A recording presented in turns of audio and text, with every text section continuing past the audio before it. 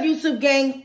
Welcome back to Antoinette Marie TV. It's your girl, Antoinette Marie. And I'm just coming on for a quick video today. And it is going to be a quarantine lockdown workout. So I have been doing a lot of different videos on my channel so far.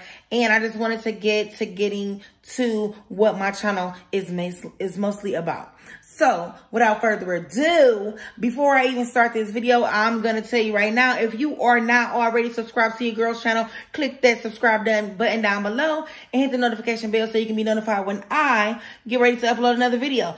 So without further ado, let's get into the video. Okay, so before we get to the exercise workouts, I just want to let you know the things that I'm using today and the things that I have for my workout. Of course, I have the water, ice cold water and I'm going to be using some of the um, bands.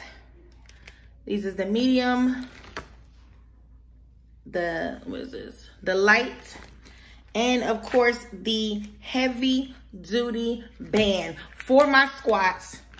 And I also have just some five pound weights.